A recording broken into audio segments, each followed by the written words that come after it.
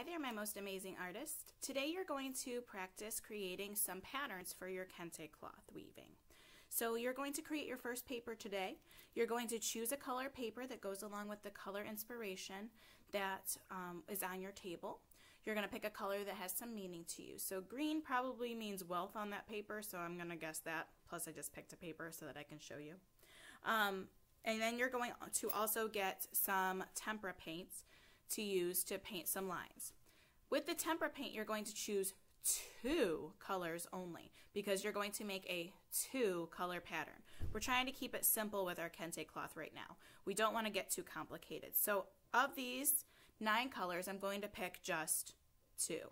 So I think with the green, I'm going to choose some yellow and I think I'm going to choose some white. So I'm going to make a pattern of lines using yellow and white. So you can make your line patterns complicated or you can make them simple, but just remember you need to make a two color pattern. So I think I'm just going to do a straight line here. And then I'm going to do another straight line. So all my white lines are going to be straight, but you can make your lines whatever you choose.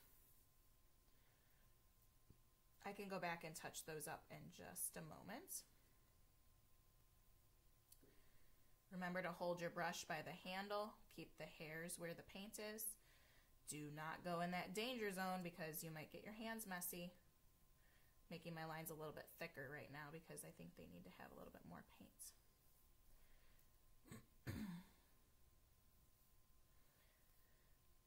And then with the yellow, I'm going to go back and do a different kind of line in between these, these lines to make my pattern. So it's going to go yellow, white, yellow, white, yellow, white, yellow, and then it's also going to go straight line, maybe curvy line or zigzag line. Um, remember to clean your brush between colors. Touch the hairs to the lip of the cup if it drips, and then dry your brush off on the paper towel that's on your um, tray. So next I'm going to get the yellow, and I'm going to do the pattern of lines in there as well. So I'm going to make some other kinds of lines. Oops, brush is thirsty. Get some more paint on it.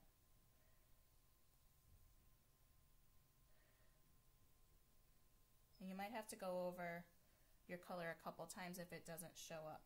And then maybe in this one I could do a zigzag line. I might have to put my paint on a little bit more thick with this yellow because it's not showing up very well. So see how I'm creating a pattern with my yellow paint as well. You can create your patterns however you want, whatever makes sense to you, as long as you can explain the pattern when you're talking about your artwork and your artist statement later. So I'm just doing this really quickly to show you a completed painting. And it's very important that your paper is up and down and then your lines are going horizontally because next time when you come back we're going to turn our paper the opposite direction and we're going to paint them across on that paper so it's going to be wide instead of tall.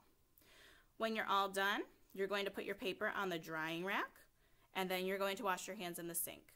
This completes your assignment for the day and then you can get a free draw paper from the free draw station. Please do not use the paint on your free draw paper because drawing is with dry media, painting is with paints.